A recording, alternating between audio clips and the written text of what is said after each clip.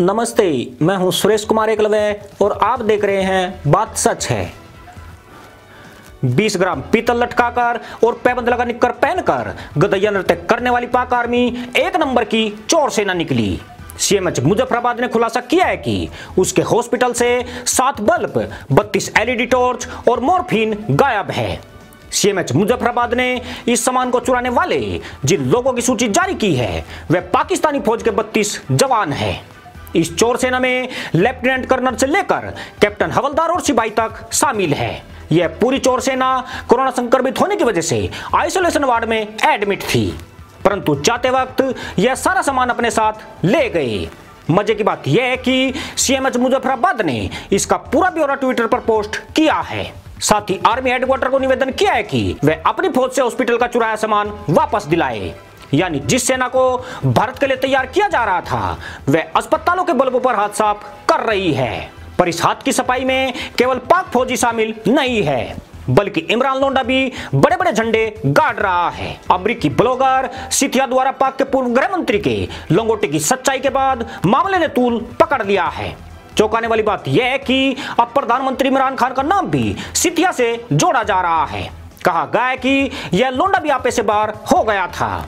यह भी एक बार सिथिया से संबंध बनाने के लिए गिड़गिड़ाया था। मसूर अलीम सलीम का कहना है कि सिथिया कभी लोंडे की बहुत करीबी थी और दोनों कथित तौर पर एक कमरे में रुक भी चुके थे। यानी इमरान नाम का यह लोंडा जितना ऊपर से भला दिखता है, भीतर से उतना ही अयास और पक्का तयमंद छाप है। मतलब चप्पल घिसाए रोडों पे, किससे सुनाए घुड़दौड़ों के। मगर पाक के वज़ीर आज़म की घुड़दौड़ यहीं पर खत्म नहीं होती। रहमान मलिक तो टोपीबाज निकला ही। इमरान खान भी छेंच की जीभ निकालकर सिथिया से हम बिस्तर की गुहार लगाता रहा। यह पूरा माजरा साल 2011 का है। उस वक्त 2008 से लेकर 2013 तक पाकिस्तान पीपुल्स पार्टी की सरकार थी। सिथिया अमेरिका से पाकिस्तान में घूमने आई थी। जहाँ राष्ट्रपति भवन में उसके साथ यह हरकत की गई। ऐसा करने वालों में पूर्व प्रधानमंत्री यूसुफ राजा गिलानी, मखदूम साबुद्दीन जैसे टोपीबाज भी शामिल थे। यानी निकम्मे और अयास मदरसा पैदाइश की यहाँ पर पूरी भरमार है। मज़े की बात यह है कि सिथिया ने इस पूरे मामले पर उसके पास पुख्ता सबूत होने की बात कहकर पाकिस्तान में सनसनी मचा दी है। सिथिया ने कहा है कि वक्त आने पर वह तमाम सबूत सोशल मीडिया पर जारी करेगी, जिसके बाद इमरान लोंडे से लेकर पूर्व मंत्री तक घबराहट में है। पर मामला यहाँ तक नहीं है। जिस तरह पाक फौज एक नंबर की बल्ब चोर निकली, उसी तरह यहाँ के नेता भी सौ नंबर के हरामी हैं। इसी सौ नंबर की वजह से पाकिस्तान में गरीबी मौजूदा 24.3 फ़ीसद से बढ़कर 33.6 फ़ीसद हो गई है, जबकि 30 लाख लोगों की नौकरी जाने की संभावना है, जिस आर्थिक विकास दर का 3.24 फ़ीसद रहने का अनुमान लगाया गया था, वह दर अब शून्य से नीचे चली गई है।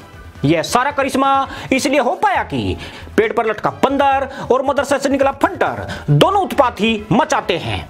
इनकी रंगीन मिजाजी ने पूरे पाकिस्तान को जिन्ना की कब्र के पास छोड़ दिया है। दुनिया का ये पहला मुल्क है, जिसके पास वित्त नहीं है, मगर यह वित्त मंत्रालय बनाकर डेढ़ हज़ार लोगों को तनख्वाहें दी जा रही है। पाक का वज़ीर आज़म खुद लंगोट का कच्चा है, मगर तहमद बनाने की फैक्ट्री लगाने की राय दे रहा है। सेना चोरी करती घूम रही है, जबकि नेता घुड़चड़ी में मस्त है। ऐसे में इस देश के मुल्लाओं की मजबूरी है कि वे तशरीफ़ तक ज़ोर लगाकर बांग मारे। अन्यथा ज़्यादा शांति पसरी तो पाकिस्तान के अयासों और चोर फौज के सारे कारनामे उजागर हो सकते हैं। पर सवाल यही है कि अगर सेना चोरी के गुर सीखती रही और नेता रंग रलिया मनाते रहे तो पाकिस्तानी अवाम घास की रोटी के लिए किस खेत में दराती लेकर घुसेगी? इस वक्त पाक में जिस तरह के हालात हैं, उसने तो घास का निवाला भी छीन लिया है। हफीज शेख ने आज खुद कहा है कि अगर कर्ज नहीं मिला तो मुल्क का मर्ज बढ़ जाएगा, जिससे पाकिस्तान के कंगाल होने का खतरा है। पर लगता यूँ है कि पाकिस्तान के तमाम हुक्मरानों ने आज़ादी से लेकर अब तक जितने कर्जे लिए, उससे नेताओं के दर्जे ही बड़े हैं। जनता तो आज भी वहीं की वहीं खड़ी है। इसी के साथ अनुमति दोस्तों जय जवान जय किसान जय हिंद वंदे मातरम।